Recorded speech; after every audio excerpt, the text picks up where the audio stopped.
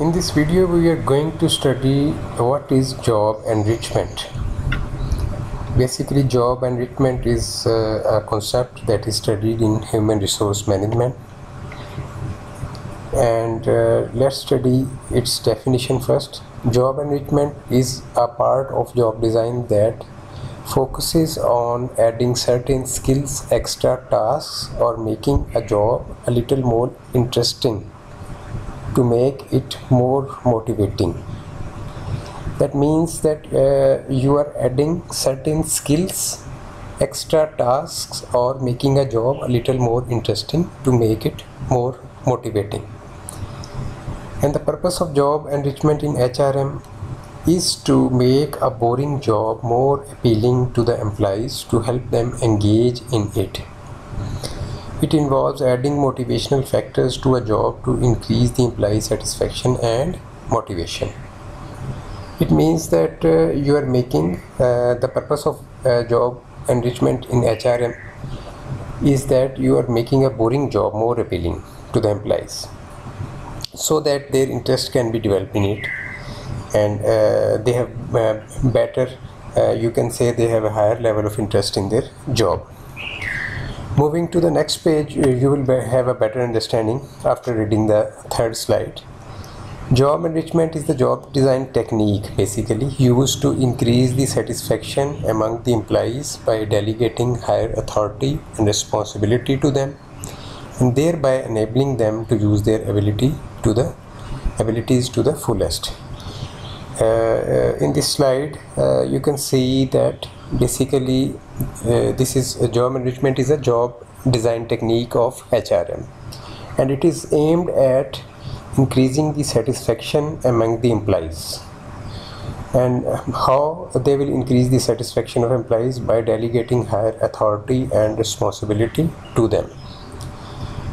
Uh, thereby enabling them to use their abilities to the fullest and job uh, enrichment is the vertical restructuring of moral excellence in which more authority, autonomy, control is given to the employees to perform a given set of a job.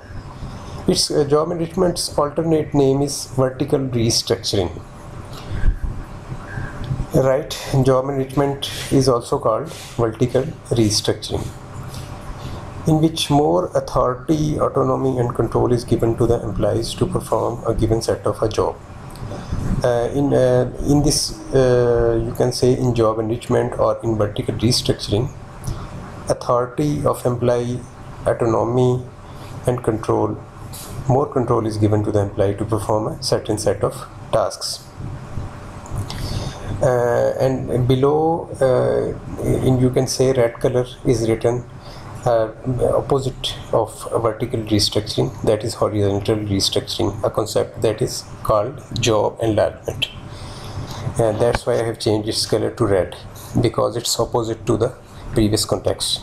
This concept is in contrast to the job enlargement which considers the horizontal restructuring where more and more tasks get added and the challenge remains the same uh, horizontal restructuring which is also called job enlargement. Enlargement me means that making something large right? You are making something large by adding the uh, tasks that are already uh, in the job design of an employee. And you are just making uh, increasing the tasks of same level right. You are not adding the tasks from higher or lower level. You are uh, because its name shows horizontal restructuring horizontal means at the same level. You are adding more tasks but from the same level not from the higher or lower level. And this is called job enlargement. This uh, uh, this statement uh, that is written in red color shows an opposite concept to the job enrichment and what is that opposite concept? This is opposite of job enrichment is job enlargement. And this is entirely different concept. Now in this slide we can uh, see some of the alternate names that are used for job enrichment in objective type or uh, in different books. And job enrichment is also called job promotion or vertical restructuring. Right and uh, now we will study what are the benefits of job enrichment. Benefits for employees and benefits for employers.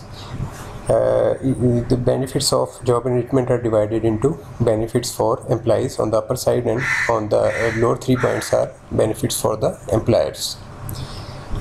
Uh, first we will study benefit for the employees.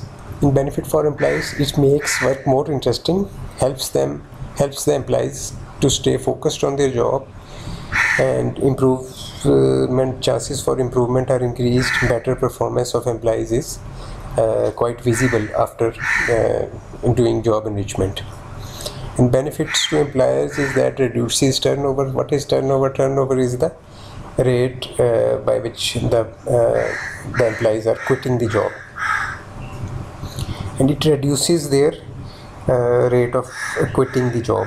That is called turnover. And better growth for organization and definitely better output for organization is seen after doing job enrichment uh, in different organizations. And that is the end of the slide. And if you have any question you can comment in comment section